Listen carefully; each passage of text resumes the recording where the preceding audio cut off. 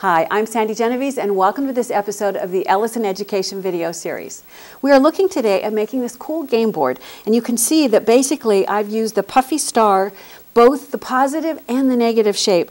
The board itself is created with the negative, the area around the star, and if you look inside each of these openings, these star openings, there are answers the questions are actually posed on the star cutouts themselves. So if you look at the table, you can see all of the stars have the equations on them. So if I pick this one up, I would need to figure out 5 times 2 is 10, squared is 100, divided by 10 is 10. So then I look on the game board to see where that matching answer is in order to position this particular star.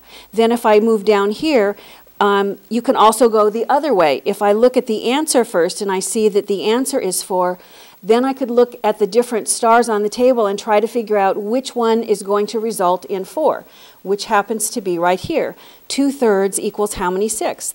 So this is a fun game. The beauty of making it yourself is you get to decide how complex or how simple you want the math equations to be. It can be fractions, it can be decimals, it can be learning um, the power, you know, squared and cubed, all those things. You need to start by cutting.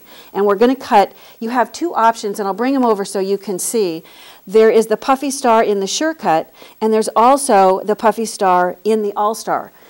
So what I'm going to do is I'm going to be using the All-Star, and in order to do this particular die, since I'm cutting in the Big Shot Pro, I'm going to use the cutting pad that comes with the machine, and it has pictorially it tells me that as well as this adapter, I need to also use the crease pad. Then I'm going to take the star die itself, and before I actually place the cardstock on there, I want you to notice I have pieces of tape. What I've done is I've decided I want the star to cut out right in the middle. So I've done a couple of test cuts, and I figured that when my paper is positioned so that it's tucked right against these two pieces of tape, this then will generate a star that is cutting right out of the center. In this way, I know that every single one, I'll have a nice center cut star. So once I've lined it up with my tape, then I'm going to place it in the machine and I'll put the cutting pad over the top. I'm cutting really thick,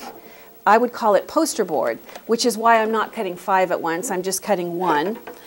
And then I'll bring it back over and show you that it results in a really cool star, which, because it's cut with the same tool, this star is going to match every single one of these perfectly because the same tool that cut the negative space, which is this, also cut the positive space. You're going to use all the parts and pieces to make this. You know, even if you have students who aren't fluent in English, doing a hands-on approach like this is perfect.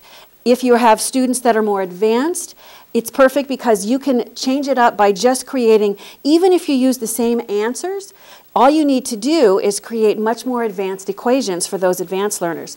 You know, math practice, it's two times the fun with a matchup game like this. You could even say it was stellar.